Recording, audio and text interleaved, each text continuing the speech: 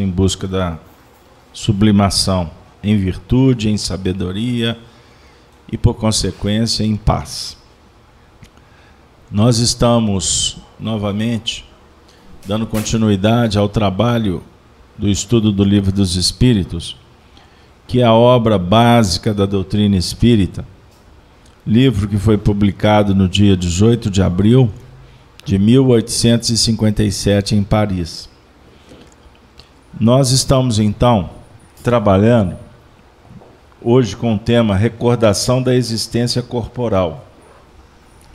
Questão 304 até 306b. Nós vamos pedir a Denise que faça a leitura para nós destas questões para abrir as tarefas da noite. Pode ir até na 306b. Prestem atenção, por favor. Marco, vamos disponibilizar a imagem para os nossos amigos, que eu endereço um abraço para todos da rede Amigo Espírita, os amigos da FIAC que nos acompanham ao vivo através dos telefones, tablets, computadores, e também a audiência expressiva que temos no Nordeste, através da Rádio Brasil Espírita de Maceió. Então, Denise agora vai nos beneficiar com a leitura do texto. Por favor. Lembrança da existência corporal, questão 304.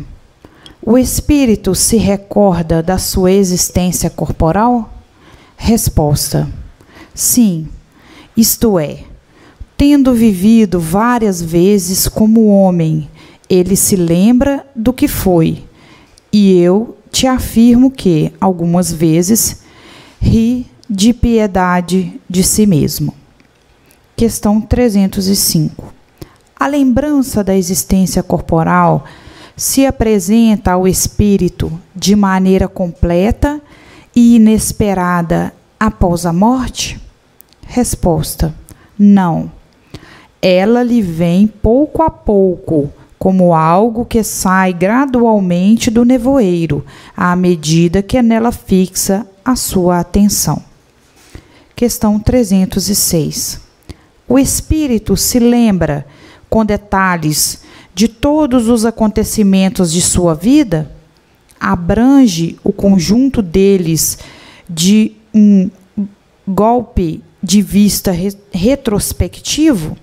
Resposta: lembra-se das coisas em razão das consequências que resultaram para a sua condição de espírito.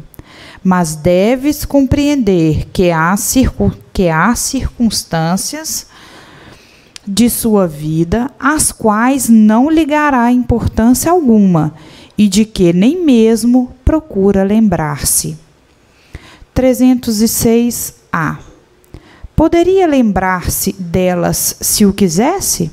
Resposta: Pode lembrar-se dos mais minuciosos detalhes e incidentes, seja dos acontecimentos, seja mesmo de seus pensamentos, mas quando isso não tem utilidade, ele não o faz. 306b. O espírito entrevê o objetivo da vida terrestre com relação à sua vida futura? Resposta: certamente que o vê e compreende muito melhor do que quando estava encarnado. Compreende a necessidade de sua purificação para chegar ao infinito e sabe que em cada existência deixa algumas impurezas. E saber. O verbo é saber. E saber de que em cada existência deixa algumas impurezas. Pois bem, muito obrigado, Denise.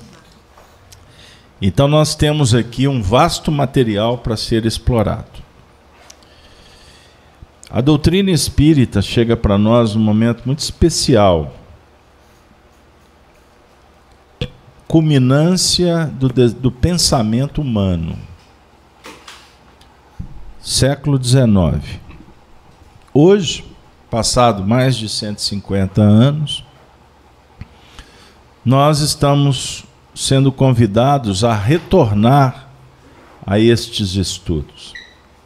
Embora, para a grande maioria, ele é completamente desconhecido. É isso, Júlio? Porque, para se adentrar os portais do entendimento espiritual, é necessário boa vontade, predisposição, interesse, né? E, acima de tudo, debruçar em torno das obras, para se adquirir conhecimento. Mas não é suficiente no que remonta à relação. Porque quando vamos falar dos valores do espírito, nós temos que naturalmente também falar sobre um certo grau de maturidade para se compreender. Por isso é que nós vamos ter em Jesus uma fala muito especial quando ele diz que a mensagem é para os simples e não para os doutos.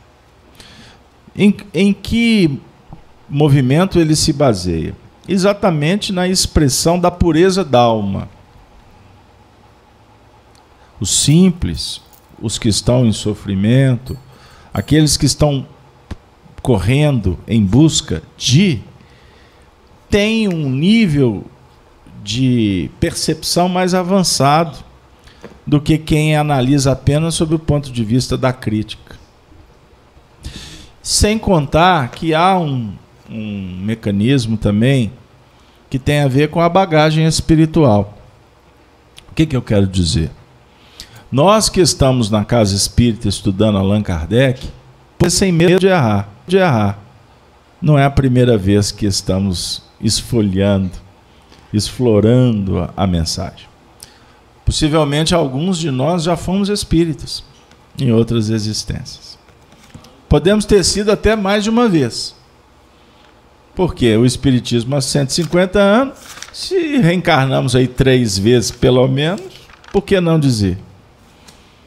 Isso, inclusive, nos deixa muito tranquilos em apreciar algumas, alguns companheiros que têm um grau de competência de entendimento e de prática mais do que outros. Não significa que são espíritos mais evoluídos, mas podem def definir aqui um grau de experiência, uma carreira mais longa que foi percorrida. Ficou claro? Então isso não distingue ninguém. Não vai dizer que ninguém é melhor ou pior, ok? Mas é óbvio que na escala espírita existem espíritos que são mais infantis imaturos. Estes não dá para discutir. Não dá para bater num papo sobre reencarnação, que vai ter problema. Não consegue.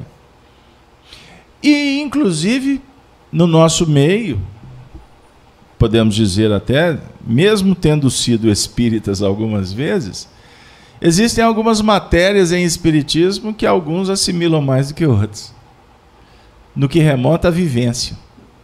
Então nós vamos ter, por exemplo, em Eurípides Barçanufo, talvez o maior ícone de espiritismo em termos de mediunidade e de educação. Foi Eurípides Barçanufo, que, que nasceu em 1880 e, e desencarnou em 1918, naquela época lá com o problema da gripe espanhola. Morreu novo, né? 38 anos. Eurípides Bassanufo era dotado de uma mediunidade espetacular. Dentre tantas, o Alan até abordou aqui na terça-feira, dentre tantas, a bicorporiedade. Ele entrava em transe e o seu corpo espiritual se materializava em outro ambiente, fazia cirurgias, partos e etc. Bicorporiedade. Para um, para um médium chegar nesse grau, ele precisa de uma condição moral especial. Porque a mediunidade, ela, uma coisa é espiritismo, outra coisa é mediunidade. Significa que mediunidade você pode encontrar médiums em todos os setores, até no, campo materialista. Então, mediunidade não, não necessariamente se vincula ao espiritualismo. ou ao Espiritismo. Agora, é óbvio que, que dotado de conhecimento no que remonta ao Espiritismo e ao Evangelho, o indivíduo vai trabalhar as suas aptidões mediúnicas com o objetivo da sua elevação moral e do benefício ao semelhante. Fiz-me claro? Então, Eurípides Bassanu foi especial. Mas em nível popular foi Chico Xavier, sem dúvida alguma, que legou para nós uma vida de muita dedicação. Isso tudo traduz o quê? Que são espíritos que já caminharam nessa senda, que já têm uma bagagem maior do que a grande maioria. Ok? Tudo isso diz para o nosso coração nesse momento que Jesus consola a humanidade através da oferta do conhecimento, dos mecanismos que, que nós podemos utilizar para nos libertar, porque o conhecimento é que liberta. Nada nesse mundo liberta como conhecimento. Fiz-me claro? E foi Jesus quem nolo afirma. Conhecereis a verdade, a verdade vos libertará. Pois bem, então nós estamos trabalhando aqui o tópico lembrança de existências corporais. Dentro do consolo que o Espiritismo nos outorga, é muito importante a gente pensar o seguinte: dentro do princípio que a doutrina esclarece, não é mesmo? Que não necessariamente você ou alguém que está nos acompanhando na internet vai concordar ou vai, enfim, assimilar. Quando nós desencarnamos, nós vamos dar prosseguimento a um processo evolutivo pós-túmulo. Quando chegamos no mundo espiritual, dando prosseguimento a, nosso, a nossa performance mental e sentimental, nós vamos naturalmente ser, viver uma experiência na qual vamos ter que nos ajustar a uma nova realidade, certo? Porque nesse novo ambiente nós não vamos levar o que nós estamos normalmente carregando, inclusive os pontos de vista, não é? Porque desencarnar você não vai levar dinheiro e nem pessoas, você não vai levar bens, mas você, na verdade, vai se deparar então com as suas conquistas em nível íntimo, conhecimentos, sentimentos, emoções, sensações, virtudes e vícios. Perfeições e imperfeições. Perfeições no que remonta à perfeição e a imperfeição que é cultivada por nós na Terra, como egoísmo e orgulho. Então, egoísmo e orgulho, na verdade, não são da natureza humana, eles são vícios que foram implementados definindo, vamos dizer assim, essas imperfeições que nós carregamos. Pois bem, ao chegar no mundo espiritual, Kardec questiona então assim: se nós vamos dar prosseguimento, como é que vai ser chegando lá? Vamos recordar da existência que ficou pelo caminho? Essa foi a questão 304 que a gente pede para o Marcos, para a técnica, voltar com ela. O espírito se recorda da sua existência corpórea? Resposta: sim. Isto é, tendo vivido várias vezes como homem, ele se lembra do que lembra do que foi. E eu te afirmo que algumas vezes ri de piedade de si mesmo. Ri. Ri de si mesmo. Aí Kardec tem uma nota que ele diz assim: tal como o homem que, ao atingir a idade da razão, ri das loucuras da juventude ou das puerilidades da infância. Então, chegar no mundo espiritual, na verdade, é uma oportunidade da gente olhar para trás e fazer uma análise de como foi a nossa vida terrena. Então, aqui, obviamente, que o conceito é geral, não é? Ele, não, ele não entra no, em detalhes que a gente desdobra à frente, mas a ideia principal é o seguinte: chegou lá, nós vamos olhar para trás e falar assim, meu Deus, entre outras palavras, eu briguei tanto a troco de nada. Eu sonhei muitas vezes com ilusões que não me levaram a lugar nenhum. Minhas atitudes, pautadas em interesses pessoais, me ensegueceram. Isso é muito comum. A gente hoje está recebendo a visita do Júlio. Muito obrigado, Júlio, por ter vindo. Júlio não se conteve, veio a FIAC buscar o, o livro que estamos lançando, o Calvário e a Redenção. Espero que goste, meu Júlio. Embora você conhece os bastidores. E ele já sentou ali, não queria nem conversar comigo. Ele já começou a ler e assim: peraí, depois a gente conversa. Mas o Júlio, com a sua experiência de movimento espírita, nós lidamos com atividades de intercâmbio espiritual, chamadas reuniões mediúnicas. Então, semanalmente, semanalmente nós temos essa oferta na casa espírita para nós e para os espíritos, que é uma atividade terapêutica que objetiva esclarecer, consolar, auxiliar os espíritos em enfermos ou que estão em vivendo enfermidades no mundo espiritual. Normalmente enfermidades que se prolongam, né? Então significa que o indivíduo, porque desencarnou, ele não vai deixar de dependendo de como ele fomenta os seus problemas. Pois bem, é, e no trato com os espíritos, nós vamos lidar com dramas complexos. E a grande maioria, os espíritos chegam na conclusão de que julgaram para o alto muitas oportunidades. Não é isso, Júlio?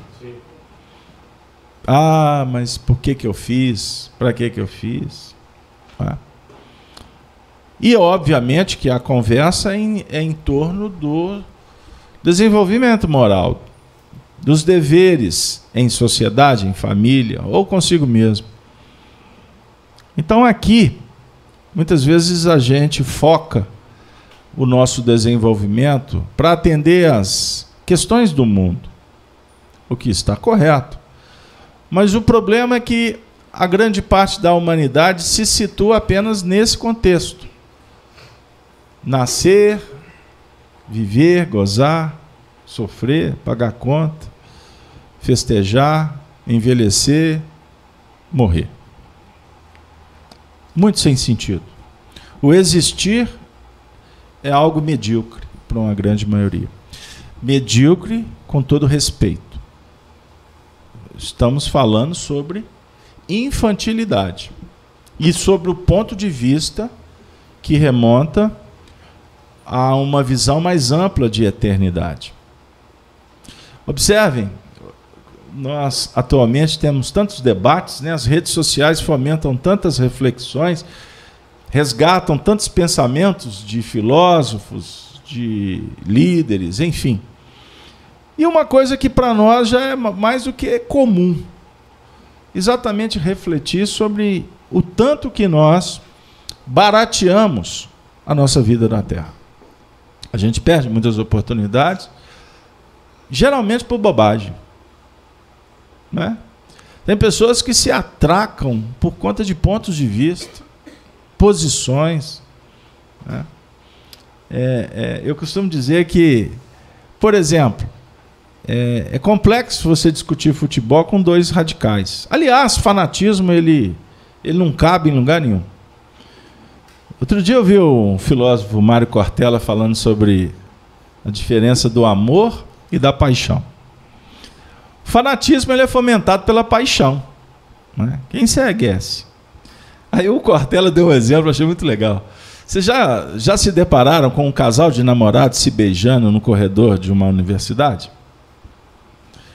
Eles se beijam como se não existisse nada no mundo a não ser o beijo e aquele momento prazeroso. Perdem completamente a noção. Não estão interessados em saber quantos que estão observando. Estão apaixonados, estão vivendo aquela situação como se fosse a única e ponto final. A paixão ela é a base de muitos movimentos nossos na Terra.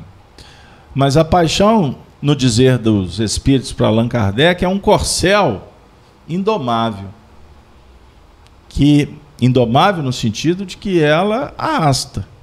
Então, o nosso papel impactante é administrar a paixão, para que ela se torne sentimentos positivos. Né?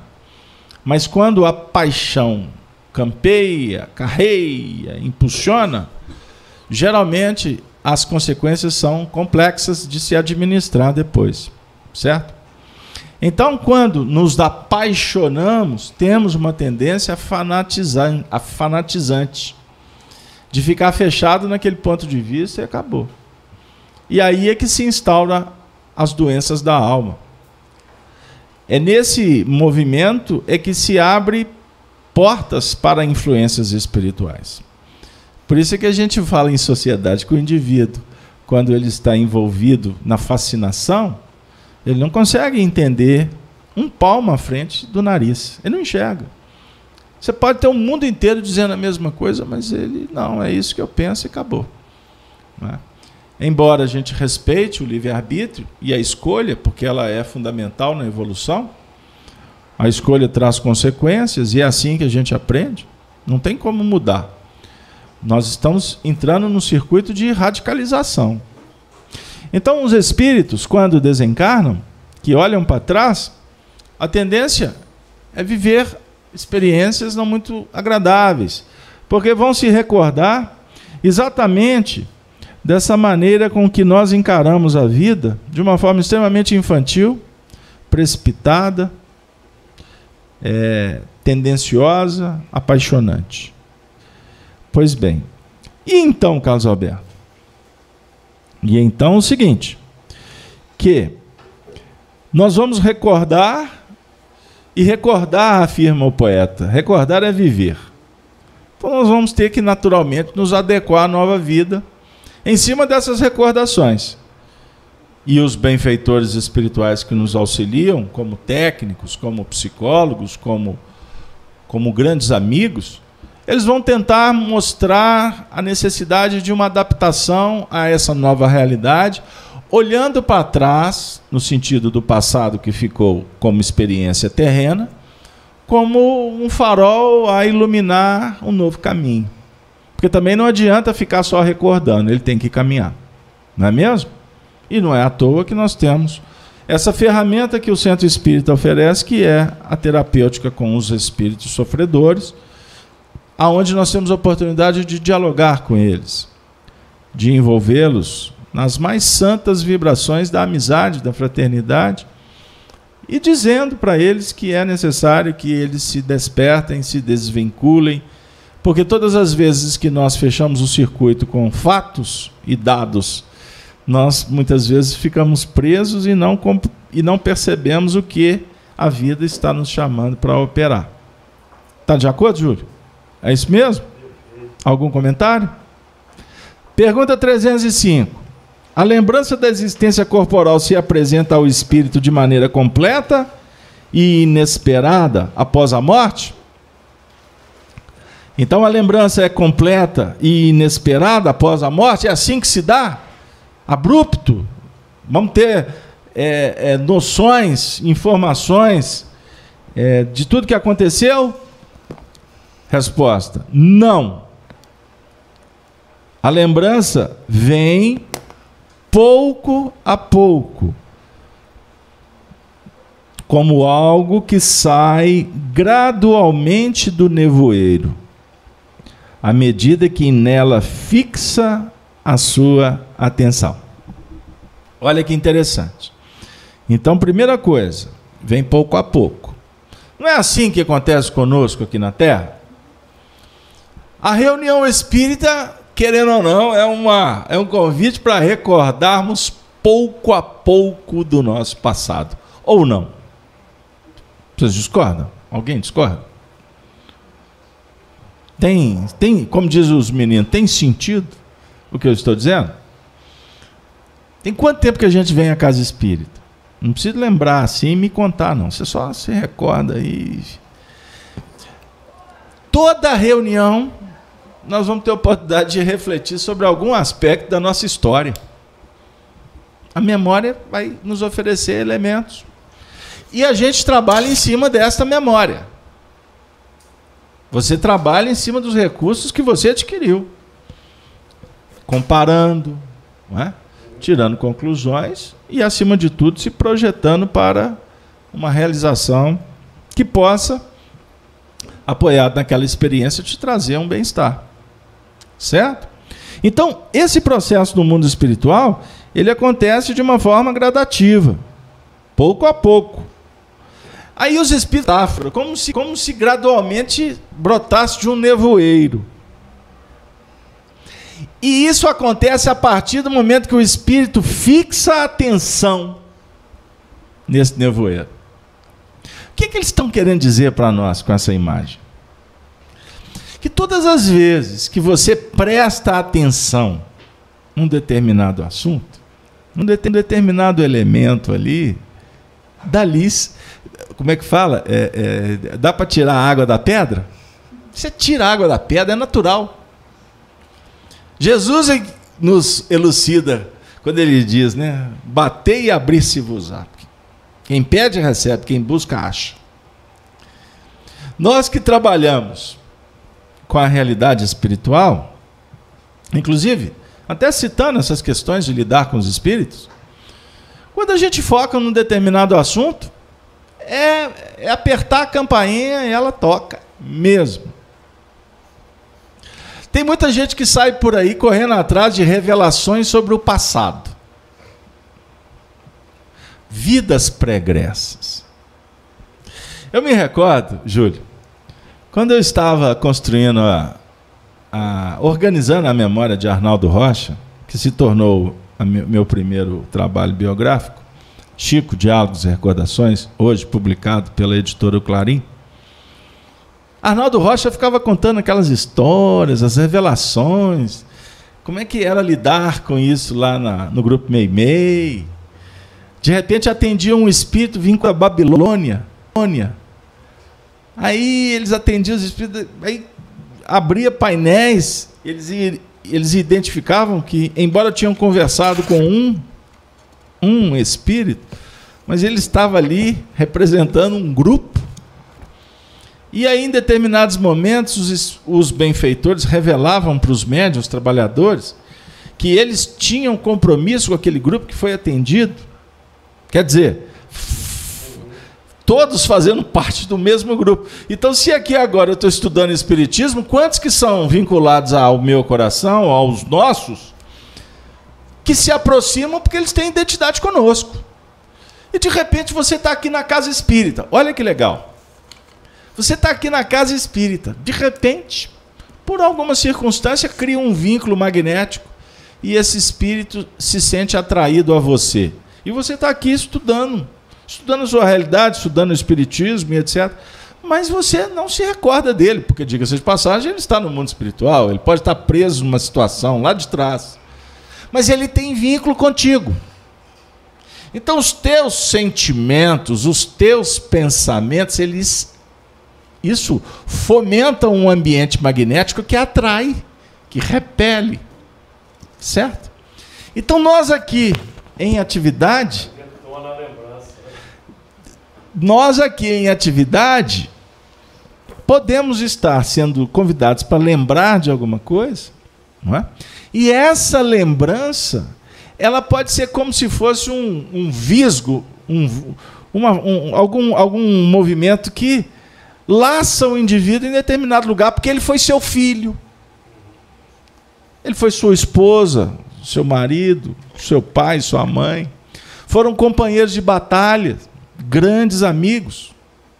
Então, com isso, eu vou dizer uma coisa: todas as nossas relações atuais, elas têm um peso que não esse peso, ele não se limita apenas o aqui e agora. Então não pense você que você está ficando livre de determinada situação só porque você mudou de cidade ou porque o indivíduo desencarnou. Não vai por aí não, que tu está enganado. Uma hora dessa vocês vão estar tá juntos de novo comendo pipoca ou estão jogando pedra um no outro. A Denise está doida para falar. Vamos lá, querida. O Júlio Cocito está doido aqui para te ouvir, ouvir sua explicação quantas recordações. Ele pergunta, e eu agradeço a audiência de todos os nossos amigos do chat, do Facebook, está uma audiência muito bacana. Essas recordações podem alcançar outras encarnações que não a última? Para que possa planejar sua próxima vida corpórea, de modo a trilhar melhor o seu caminho? Júlio, eu recebi um, um. A gente recebe muitos comunicados, muitos e-mails, críticas, é, é, incentivo e. Enfim. E um companheiro, eu fiz um vídeo aqui certa feita e o título que foi dado para ele foi Chico Xavier, a reencarnação da rainha é, Joana de Castela. E toda vez que fala de vida pregressa, o negócio parece que é, né, uma, é, espalha, espalha igual esse mosquito da dengue que espalha a dengue aqui em Belo Horizonte. Já tem mais de 20 mil casos, né? Até lá em casa teve, olha que barato. Pois bem. Espalha que notícia ruim é uma beleza. Pois bem. Então, quando eu toco desses assuntos, é natural que os, o fanismo aparece, o povo empolga, ou então os estudiosos gostam. Porque a gente dá elemento mesmo, graças a Deus, é fruto de pesquisa. Né? Como também tem uns críticos que, que dão paulada assim, só de tocar no assunto, porque são os idólatras. Aí o companheiro mandou uma mensagem dizendo que a gente presta um desserviço quando a gente fala sobre vida pregressa. Então, com todo o respeito, se ele puder receber essa resposta fraterna que eu dou agora, eu aproveito para dizer o seguinte: que a gente não fala do passado a título apenas de especulações ou de ilações sem nenhum objetivo, a não ser terapêutico educativo. Ponto. E muito menos invasivo, porque, por exemplo, se eu tenho elementos para falar, esses elementos foram autorizados. Então, quando Arnaldo Rocha me abriu um baú e eu tive a oportunidade de revelar o que ele guardou durante mais de cinco décadas, porque ele guardou mesmo. Tinha muita gente que batia na porta dele e ele disse: Não, esse é assunto, Emmanuel não deixa eu falar. Mas eu apareci na hora certa, que era para ser, então ele contou. Pois bem, para terminar. Então, essas informações a ideia é que elas possam nos sugerir aspectos bem pessoais e práticos. O Júlio acabou de relembrar, ou de tocar, né? Porque o tempo todo, o tempo todo, Ernesto Bozano tem uma bela obra que ele fala que nós vivemos, é, a nossa mente ela funciona num movimento pautado na memória. A mente funciona com memória o tempo todo. Então nós temos percepção, sensibilidade, mas nós lidamos com a memória. Então os recursos que nós, que nós detemos, eles estão arquivados em nossa memória. Ok? Existem elementos na nossa memória que estão sendo trabalhados agora sem que você tenha isso claro. Pode estar na sua escola, no seu trabalho, um incentivo, uma tristeza uma angústia. Sabe aquela história da depressão que não tem explicação? Os exames estão corretos, o hormônio está em cima, não, é? não tem nenhuma fragilidade orgânica, mas ele está com depressão. Por quê? A medicina, muitas vezes ela não consegue definir, a psicologia não esquadrinha, por uma razão muito clara. Porque falta elementos que remontam o perispírito, memória e os fatores espirituais. Porque depressão pode estar sendo fomentado por agentes exógenos. O endógeno nós estamos avaliando que está tudo bem, que parte de dentro para fora, o exógeno que vem de fora para dentro. O que vem de fora para dentro pode ser uma influência espiritual, obsessão. Espíritos enfermos que estão em torno de você. E por que, que eles estão? Como mosca procurando a luz, porque você produz pensamentos e sentimentos. Isso atrai. Isso repele. Eu não disse há pouco tempo. Então, se você começar a dizer assim, eu tenho, eu vou morrer de câncer. Eu conheço um companheiro assim. Há uns 20 anos que ele fala a mesma coisa. Eu vou morrer de câncer. Está com câncer. Aí certa feita ele me perguntou, não, não falei para você? Eu falei assim, que bom que você atraiu. Não, é intuitivo. Eu falei intuitivo, você vai pentear macaco. Você. Eh, pentear macaco é porque é um, é um termo nosso utilizado na floresta. Né? Pentear macaco é porque. Minas é comum ter um maca... os macaquinhos. Vai pentear macaco. Primeiro para você achar ele vai ser uma luta. E depois você vai pentear macaco porque você está viajando na maionese, caboclo. Eu não estou desconsiderando a intuição. Eu não estou entrando nesse mérito. Mas eu estou falando de um caso do indivíduo que falou a vida toda que ia ficar doente. Qual é a razão direta desse pensamento? Atrair a doença. Ponto. Por que, que pessoas frequentam determinadas regiões insalubres, cheias, infectadas, e não ficam infectadas? Sistema imunológico garantindo, ou também o campo magnético, os valores espirituais, a moral, a conduta, que fomentam tudo isso. Pegaram lá? Isso é só para a gente entender um pouquinho que o passado, ele o tempo todo ele está sendo movimentado. Aí, Júlio, quando eu lancei o livro, um companheiro leu a obra e falou assim: Ô Casalberto, você já se descobriu aqui como personagem dessa história? Eu falei assim, querido, não é o meu interesse, meu foco. Mas ele falou assim: é um, um amigo conhecedor de espiritismo, assim, mas você bateu e a porta vai se abrir. E depois disso, o que eu já tive de informação de vidas pregressas minhas, vinda de médiums sérios, que não se conhecem, numa amarração muito expressiva. Agora, eu digo para vocês com toda tranquilidade: ter estas informações não alterou absolutamente nada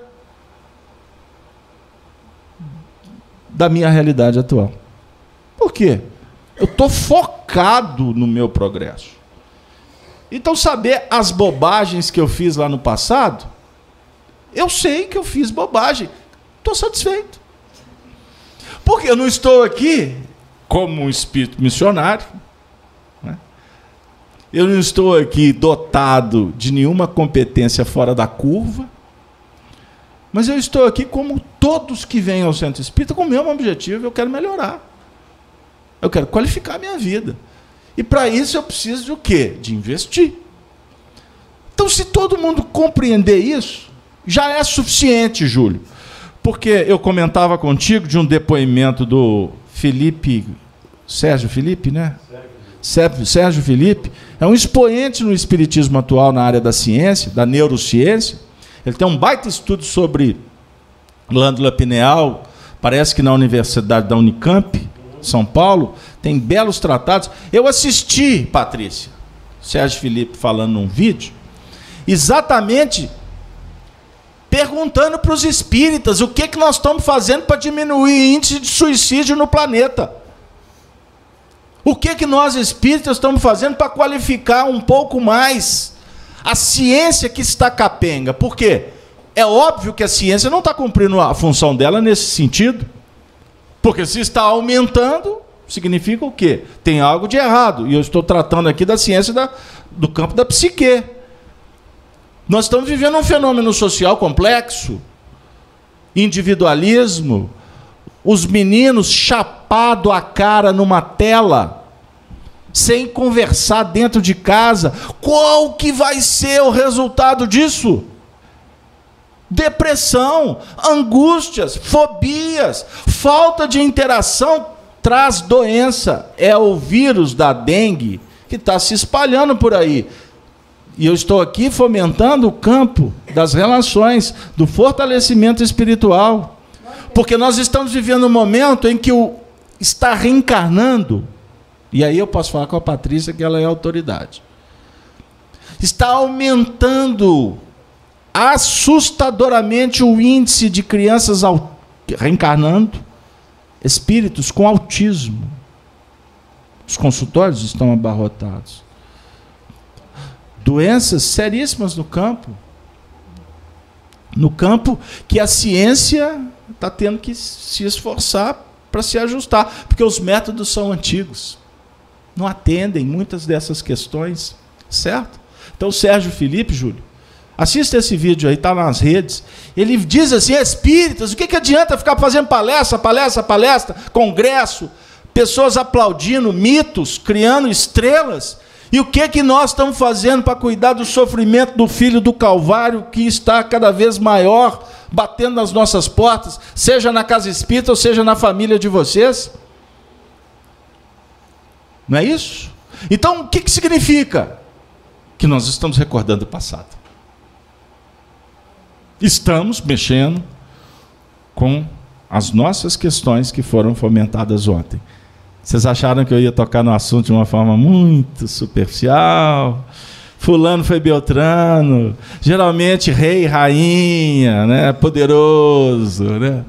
Ninguém, ninguém se candidata a ser aquele que toma flechada. O indivíduo só quer ser o arqueiro. Ou então o general atira a flecha, baixa, como é que é?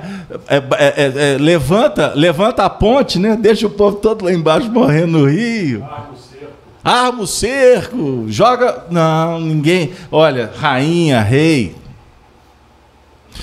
Aí tem aquela. Foi o que falou sobre reis, lavadeiras e tal? Pois é, Júlio, eu querendo fugir do assunto, o Júlio me travou. Mas então eu vou contar. É porque uma senhora chegou para o Chico e falou assim: Chico, eu descobri meu passado. Aí o Chico, ah, é mesmo, é. Pois é, meu Chico, você sabe que eu descobri que eu fui uma rainha de França? Aí o Chico, ah, você foi uma rainha. É, e sei até o nome dela, Chico. Maria Antonieta, tinha que ser.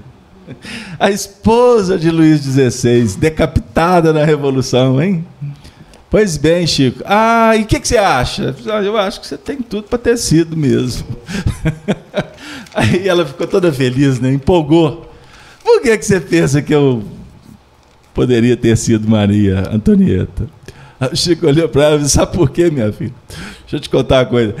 Você lembra, aquela época, as lavadeiras, o povo pobre que passava fome nas ruas de Paris, todo mundo já está no céu. Entre nós só está a nobreza, só a cúpula que fazia bobagem e agora ainda se candidata a ser rainha, rei, protagonista. Meu Deus. No mundo espiritual, recordar destas façanhas ilusórias é extremamente doloroso. Não é isso, Júlio? Nós estamos discutindo algumas casas espíritas sobre esses atendimentos que são fomentados nas reuniões. Aí eu, eu discuti com o Júlio aqui outro dia sobre essas novelas que estão passando na TV Record, né? TV evangélica, com baitas produções. Você vê que investimento de muito dinheiro e resgatando histórias do mundo antigo, dos tempos bíblicos, vamos dizer assim. Atualmente está passando uma novela que trata do rei Acabe e da rainha Jezabel, que foi um momento muito importante da história do judaísmo na época do profeta Elias, Jezabel envolve o rei Acabe e ele fomenta no meio judaico adoração a deuses, outros, né? Deuses pagãos. É uma história muito interessante. E a gente discutiu exatamente isso. Que interessante essas novelas. Porque isso mexe com história. Então tem quantos Acabes por aí? Tem quantas Jezabels sendo cuidadas nesse mundo de meu Deus? Então, reacender essas fogueiras, na verdade, elas funcionam para o mundo espiritual superior como processos não só elucidativos, mas terapêuticos, que vão replicar lá na comunidade, que vão bater lá dentro da sua casa, lá na sociedade. Porque nós todos estamos lidando com o nosso passado, cada um com o seu drama, com a sua afinidade de acordo com um ponto específico da história. E quantos espíritos em torno de nós que podem estar nos cobrando atitudes de épocas que se passaram. Quando o espírito desencarna, ele chega no mundo espiritual e ele gradativamente vai acessar informações, obviamente respeitando um processo gradativo da misericórdia, porque, porque desencarnando não significa que o indivíduo vai saber tudo, porque depende do grau de evolução dele, mas ele naturalmente vai recordar. E é o que nós estamos aqui agora nos preparando, porque é muito melhor a gente promover a busca de uma forma consciente e responsável do que ser visitado amanhã pelos dramas, pela complexidade, pelas questões que vêm de fora para dentro e que estão machucando, que estão funcionando no coração de muita gente como um mecanismo de muitas dores. Esse é o mundo que a gente está vivendo agora. Me empresta o microfone. Júlio, um, um breve comentário sobre esse tópico. A palavra é sua. Pode vir cá. Até desembolar ali a gente perde tempo. Vamos embora. É muito interessante esse, esse, essa questão do passado, né? Porque nós estamos aí num tempo em que André Luiz, no livro, no livro de André Luiz, não me recordo agora qual, os Espíritos vêm nos alertar que nós estamos atravessando um período de aferição de valores bastante acelerado pelo sofrimento. Então é natural que essas, essas questões todas sejam é, levantadas e o passado gradativamente vai se insinuando, porque a tendência, a tendência do futuro da humanidade mais renovada, da humanidade transformada, é que a mediunidade será bem mais é, presente na, na sociedade e o nosso passado será um passado bem vivo. Então nós hoje estamos lidando com, com, com essas questões todas emocionais que são suscitadas aí por esses eventos históricos que hoje, graças aí à mídia, graças ao cinema, é quanta coisa do passado não vem sendo levantada e vem revolvendo dramas seculares exatamente para esse processo de catarse coletiva, vamos dizer assim,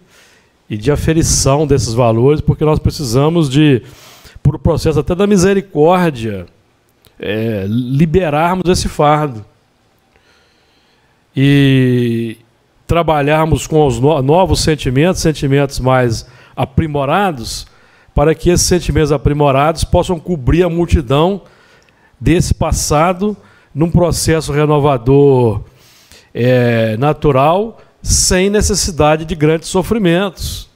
Então, a doutrina espírita, eu me recordo do capítulo 1 de Evangelho segundo o Espiritismo, não vim destruir a lei, em que numa mensagem, no item 9 desse primeiro capítulo, a mensagem de um espírito israelita que trata das revelações, ele vai lá dizer que o espiritismo é a alavanca de que Deus se serve para acelerar o progresso da humanidade. O progresso saudável, o progresso. Então não tem como nós partirmos para a frente, colocando para debaixo do tapete as complicações, as complexidades do passado. E hoje o Carlos Alberto, ao mencionar aí esse caso interessante do Chico, essas lideranças, essas lideranças que foram complexas no passado e que muito carismáticas, que traziam uma carga de atração muito forte, hoje elas estão, muitas delas no próprio movimento espírita, no processo de reciclagem, é, exercendo aquela liderança ou numa, numa revisão daquela liderança que foi complexa, hoje tratando de liderar de uma forma positiva. Então nós temos é, elementos aí bastante interessantes nesse caldo social, no próprio caldo do movimento espírita, fazendo essa aferição, levantando valores, essa catarse. É, porque o processo de, de lembrança, né, né, meu, meu caro amigo Carlos Alberto, vai ser inevitável no futuro, todos nós aqui teremos lembranças mais claras. mais claras. No caso da, daquela irmã do nosso lar que pôde ter acesso a 500 anos. Que, exatamente, 500 anos, não como lembrança, mas como leitura. Então, é um aspecto interessante porque, é, paralelamente às lembranças que estão arquivadas nos refolhos da nossa memória, aos registros por escrito ou gravados e que, e que no processo de desenvolvimento no mundo espiritual, de, de, de aprimoramento de valores intelecto, intelecto morais, de aperfeiçoamento de valores intelecto morais, para depois a consolidação na, no plano da, da reencarnação, os espíritos nos permitem, permitem que nós é, façamos a leitura de determinados arquivos, leitura de algumas existências do passado, para que com o tempo, essas leituras tenham o objetivo de com o tempo fazer aflorar determinadas recordações que vão sendo é, potencializadas à medida que nós vamos ali no contato social no mundo espiritual com determinados elementos que vão se aproximando pelo trabalho. Então nós vamos integrar um grupo de trabalho e tem um elemento ali que nós temos uma afinidade com ele, não sabemos de onde, como que surgiu, e com o tempo vai vendo. Numa atividade de assistência nas regiões é, de, de mais amplo sofrimento, no mundo espiritual também, nós vamos sendo atraídos pelos corações com os quais temos ligação da retaguarda. Então é um processo, o processo que a doutrina espírita nos revela é um processo maravilhoso, extraordinário. Pena que a ciência ainda não se abriu como um todo para colaborar com o Espiritismo, fazendo a conexão do Espiritismo com a sociedade no plano científico. No Evangelho segundo o Espiritismo, no capítulo 6, intitulado Cristo Consolador, nós temos uma mensagem extraordinária de Jesus, que aqui ele assina como Espírito de Verdade, que tem tudo a ver com o que nós estamos trabalhando. Ele diz assim: Sou o grande médico das almas. E venho trazer-vos o remédio que vos há de curar.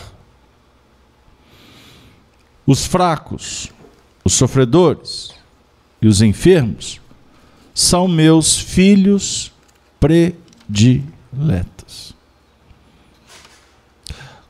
A ação espírita que não estiver focada nos fracos, nos sofredores e nos enfermos, ela não está cumprindo o objetivo principal. Eu citei o Sérgio Felipe quando fala sobre aonde está o espiritismo para ajudar a ciência. Ele estava num evento de palestristas com muita gente assistindo. Ele deu um brado dizendo: que, que adianta palestras, palestras, palestras? Qual é o papel do Espiritismo junto dos hospitais, junto dos psiquiatras, dos psicanalistas, dos psicólogos, dos médicos em geral? Porque o Espiritismo é que tem o remédio. Eles não têm, todos têm algum tipo de medicamento. Mas o que o Espiritismo oferece, não há competência na Terra que substitua. E quando eu falo Espiritismo, não estou falando de religião, não. Estou falando da filosofia da ciência espírita.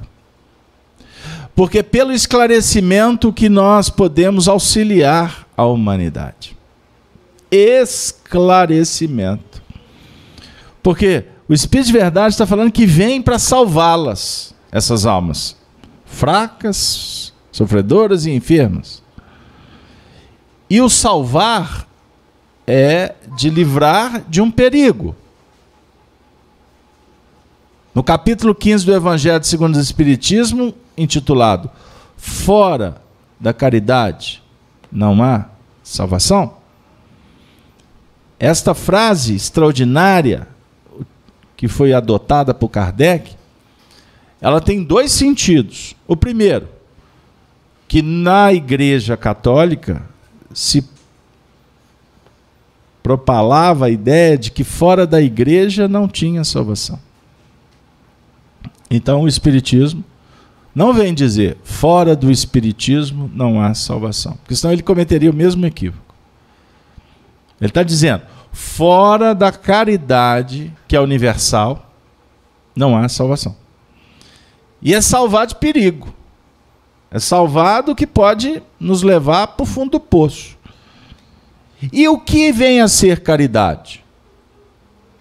Questão 886 de O Livro dos Espíritos explica com muita tranquilidade.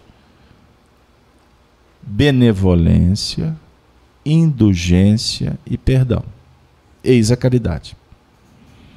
Então, quando Jesus vem dizer que vem salvar, aí ele, nesse texto, publicado por Kardec, ele na verdade está dinamizando o que ele tinha dito quando esteve encarnado na Terra na descrição do capítulo 11 do Evangelho de Mateus, quando ele falou: Vinde a mim, todos vós que estáis cansados e sobrecarregados, que eu vos aliviarei. Mas tomai sobre vós o meu jugo e aprendei de mim, que sobrando humilde de coração. Estão lembrados? Aqui ele vai desenvolver, dizendo assim: Vinde, pois, a mim, vós que sofreis e vos achais oprimidos e sereis aliviados e consolados. Não busqueis alhures a força e a consolação, pois que o mundo é impotente para dá-las. Deus dirige um supremo apelo aos vossos corações, por meio do Espiritismo.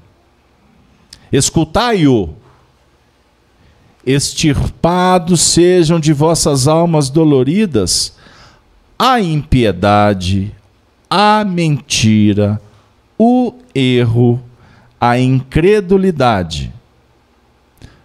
Porque são monstros que sugam o vosso mais puro sangue e que vos abrem chagas quase sempre mortais.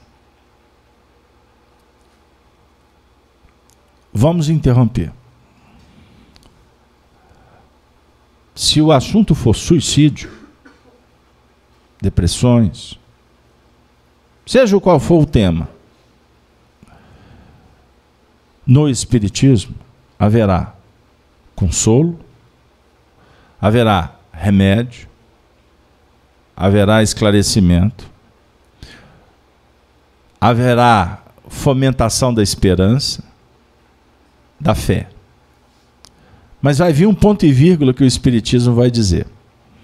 Para você vencer o seu drama, como eu, como todos nós, nós vamos ter que trabalhar. Porque a mudança não vem de fora. É um compromisso de cada um.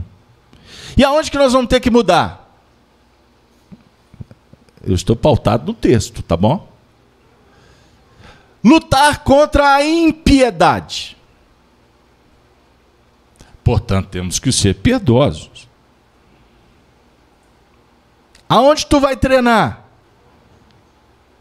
Na sua família?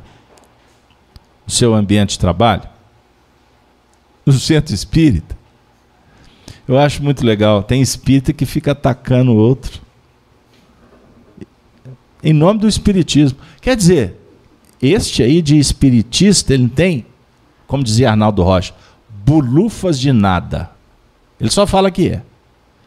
Porque não tem caráter, não tem dignidade, não é honesto nem consigo mesmo. É infiel. É tão infiel quanto Jezabel ou Acabe. Tão infiel quanto. Então, você está com depressão? Você está doente? Você está com um problema como eu estou? Um monte de questões a ser resolvidas? Então eu vou ter que começar a trabalhar para melhorar através da piedade. Misericórdia. E também o seguinte: nós temos que lutar contra a mentira.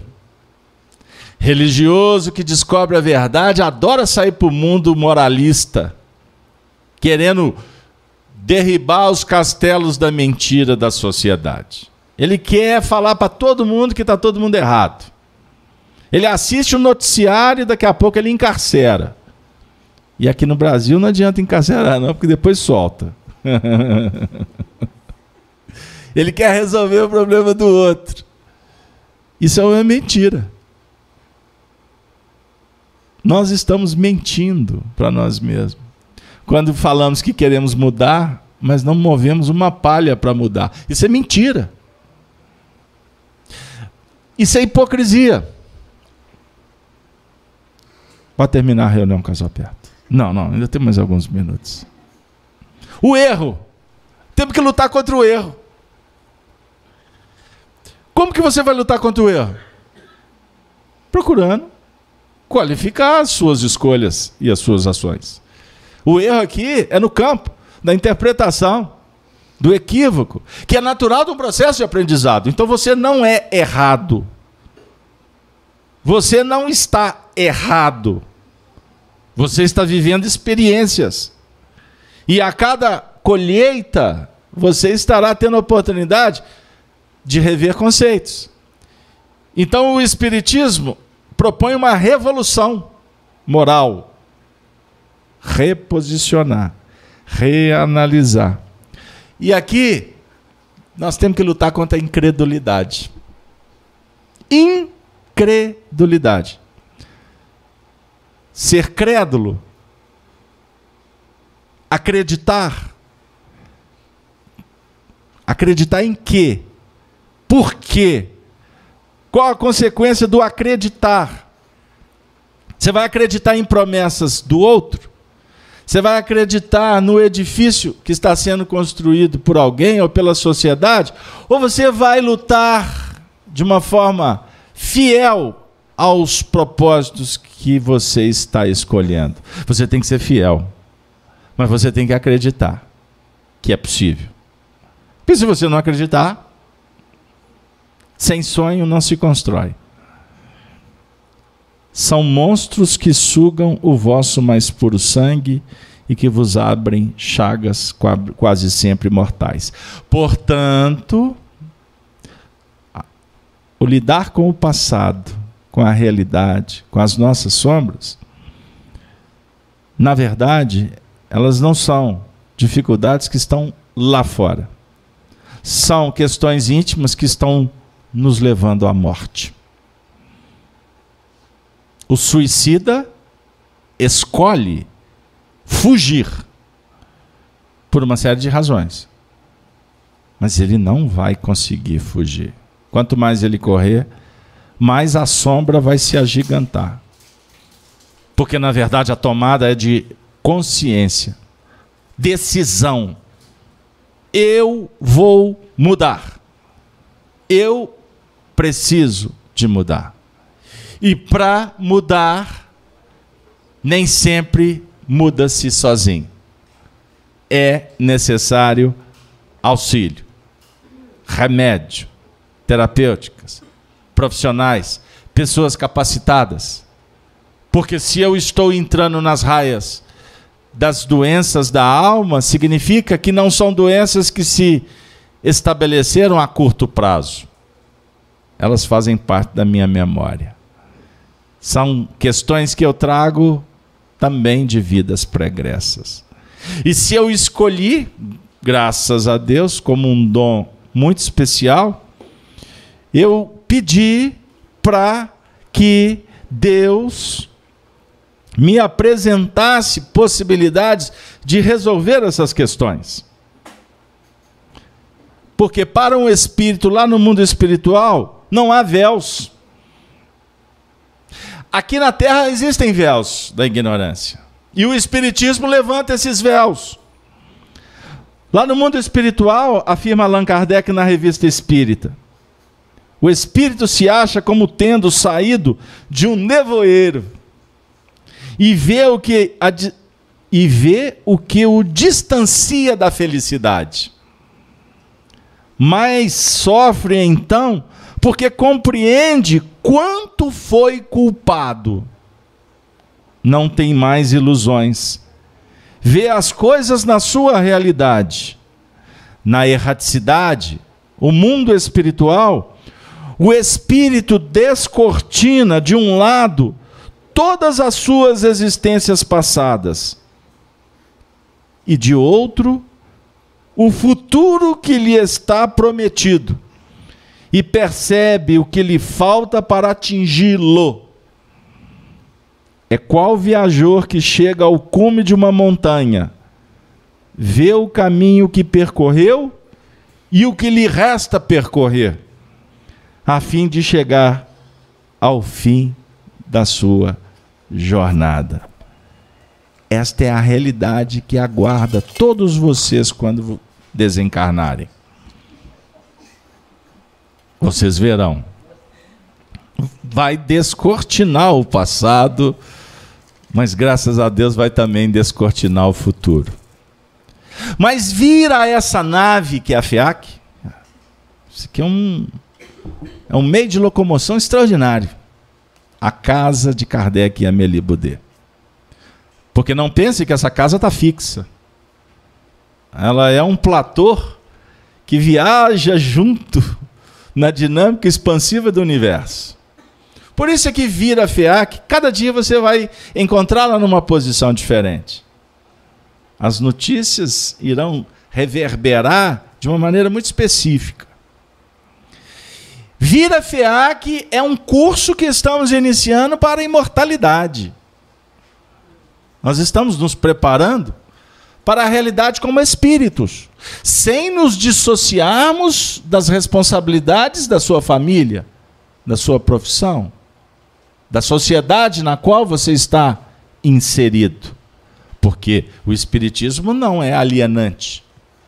Ele não promove isolacionismo. Já basta esse mundo individualista, em que cada um só olha para o próprio umbigo e que se dane o outro. É muito mais fácil conversar pelo Face, pelo Zap. Hoje em dia, na velocidade tão intensa, nós não temos nem mais a oportunidade de discar, teclar. E por isso eu esqueci, inclusive, o número do telefone dela ou dele. Porque a tecnologia me ajuda com uma memória artificial, uma memória tecnológica, que você não precisa de memorizar mais o número. Basta procurar. Aí acha-se o indivíduo, pega-se o equipamento e o máximo trabalho que a gente tem é apertar um botão e dizer: Oi, Fulano, tudo bem? Olha aqui, o assunto é esse, esse, esse. Quando puder, me responda. Até logo. Pá, pá. Estamos num momento de muita velocidade, de muitas tarefas, e que tem hora que esse recurso é esplêndido. Mas ele se tornou a única forma de se comunicar. Portanto, eu nem telefono mais para dizer: Oi, Eduardo. Oi, Neuza. Tá tudo bem? Como é que tá papai? Como é que tá mamãe? Olha, fica com Deus, tenho orado por você. E vocês perceberam que eu estou falando propositalmente numa cadência bem lenta? Que para o apressado que quer ver o vídeo acabar rapidinho, eu não vou atendê-lo e nem pretendo. Porque o foco dessa nave não é trabalhar na velocidade que atende ansiedades. Porque não é assim que tu vai melhorar. Não será com essa metodologia que nós vamos progredir. Embora vivamos numa realidade que temos que acelerar algumas coisas. Isso é fato. O trem bala, o avião, em 45, 50 minutos você atravessa aí uma distância para o Rio de Janeiro de 450 quilômetros ou mais. Não é? Uma velocidade básica de um voo, um voo comercial. Favorece para que você realize, trabalhe, faça muitas coisas no mesmo dia. Mas isso não está te dizendo que você está progredindo moralmente, espiritualmente, porque esse progresso que nós estamos nos referindo, ele se dá através de sentimentos de escolhas, de atitudes, de repetição. E não é verificável pela quantidade, time, espaço, e sim pela qualidade, pela intensidade de sentimentos. Porque o sentimento é que reveste o pensamento. Então não adianta tu vibrar, pensar rápido e endereçar se ele não é engrinaldado pela poesia de Mei Mei, que quer me falar e para você sobre o sentimento cristão, o amor que aproxima, que trata que cuida, que só ergue, que liberta. Para isso, Jesus diz assim: que no futuro, humildes e submissos ao Criador, pratiqueis a lei divina. Amai e orai sede dóceis aos Espíritos do Senhor. Invocai-o do fundo de vossos corações. Ele então vos enviará o seu Filho bem-amado, para vos instruir e dizer estas boas palavras: Eis-me aqui Venho até vós, porque me chamastes. Mensagem do Espírito de Verdade em 1861, que Allan Kardec publica nessa obra que poderia ser estudada e sentida todos os dias, o Evangelho segundo o Espiritismo, que não é livro para se ler como um romance, embora uma leitura dessa obra literária de alto valor é educativa e ensina muito o espiritismo, mas é uma obra para ser aberta, meditada quando tu for dormir. Levanta para ter uma vida intensa, mas antes de apertar o play, abra uma página, faz uma prece. Abra a janela do teu quarto, busque o sol, o astro-rei com a percepção pronta para uma intuição, para uma inspiração sobre o seu dia, sobre a sua semana, para que os Espíritos te ajudem no momento de selecionar, porque os tempos atuais é da seleção.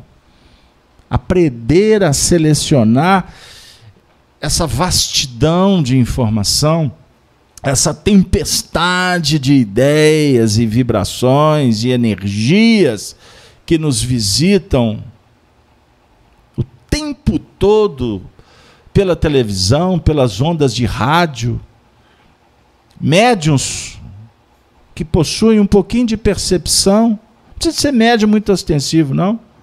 Registra muitas vezes as, as frequências de rádio que vão definir uma ligação de um telefone que vai tocar daqui a pouco.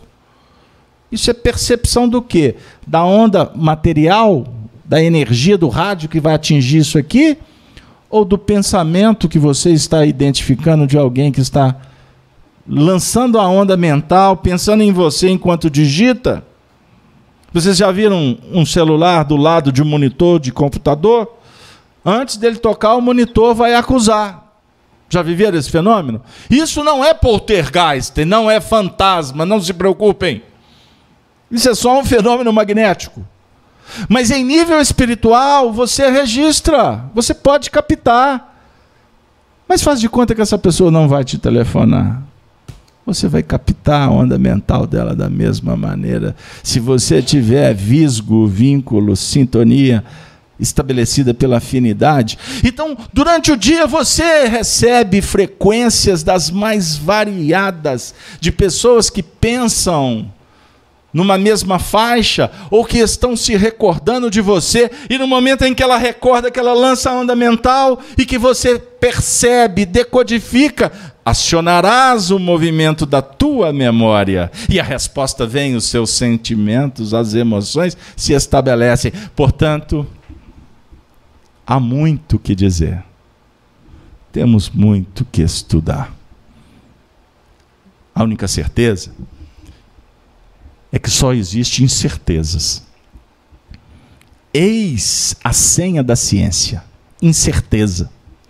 E a incerteza é que nos motiva a procurar certezas, sabendo que quando nos depararmos com algo certo, estaremos sendo convidados para em breve abrir mão e caminhar diante do que é desconhecido, na direção de Deus que é a perfeição, que é a beleza, que é a felicidade e que vai definir a harmonia, a harmonia e esta é que vai nos dar a paz.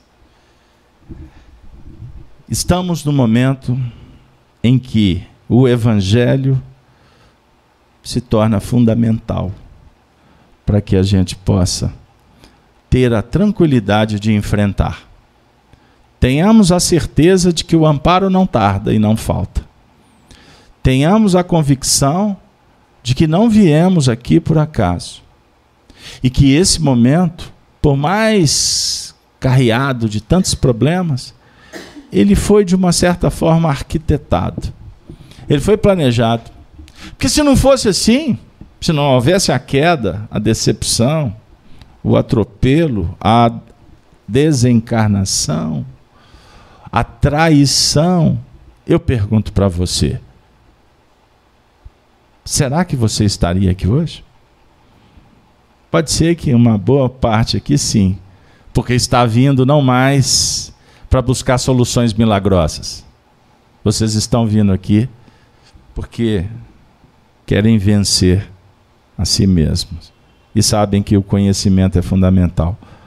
Mas eu posso dizer que existem milhões, para não dizer bilhões de pessoas que só movimentam nesta direção sob o guante da dor do desespero, do desamor.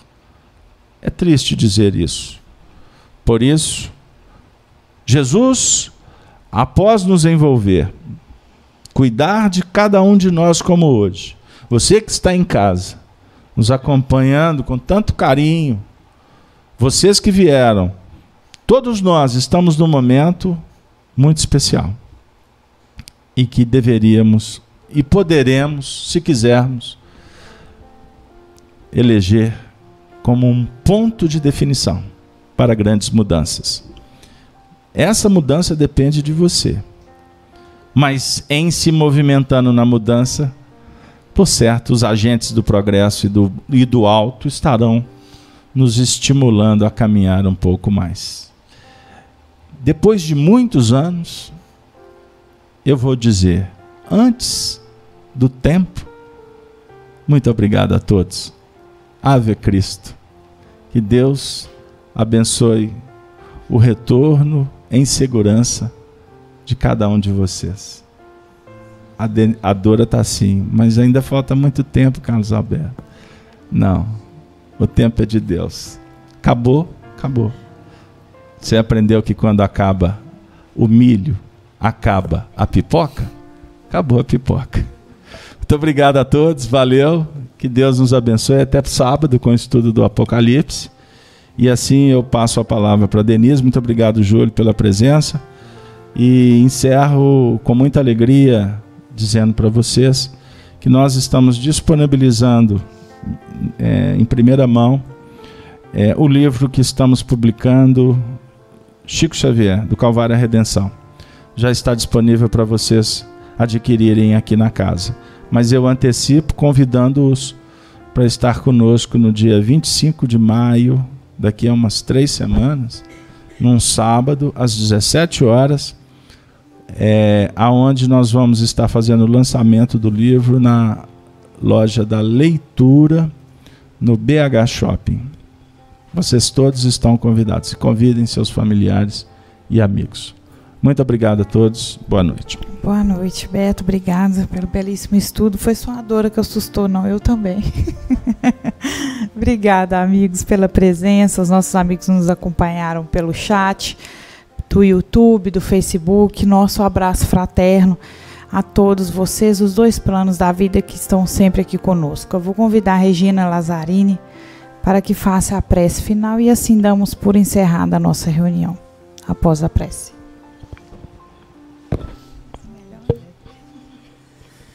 Agradecemos a Deus, a Jesus, aos nossos mentores, a oportunidade de estarmos aqui hoje na casa de Kardec